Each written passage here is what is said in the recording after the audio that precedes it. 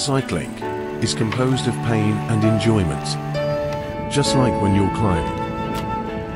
Up the hill, down the hill, up again, and down again. When you take the time to ride, there aren't many rewards. All you do is keep moving. Empty your mind, focus on the present. Sometimes you want to stop and rest. But after a while, you push through every pedal stroke. You tell yourself, you're almost at the top. Even though you don't really know. You start to think about quitting, but in the end, you don't. I never thought I would like cycling so much. But honestly, I think cyclists look pretty cool.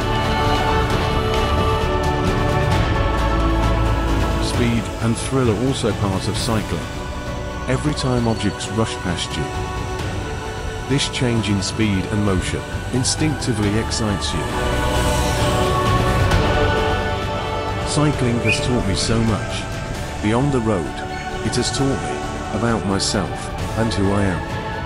I think I'll never stop.